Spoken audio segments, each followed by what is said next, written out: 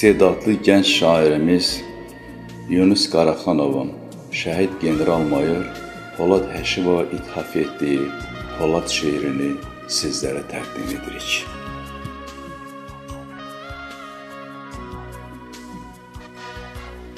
Anaya oğuldur, əskərə qardaş, ömrünü beləcə yaşadı Polad.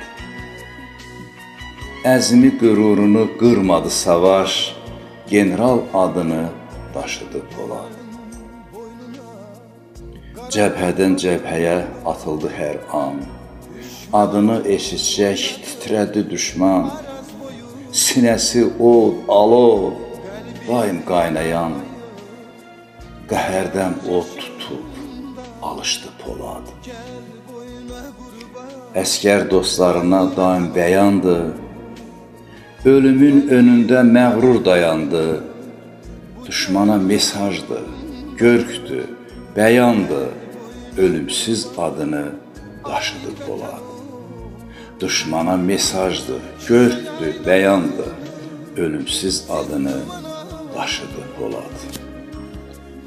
bülbülünün gözleri doldu meşesi saçını yoldu Gel boyuna kurban ay vətən oğlu. Şuşa yaylağını siz duman aldı Kar bülbülünün gözleri doldu.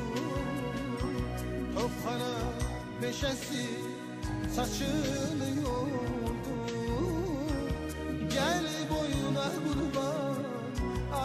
なたの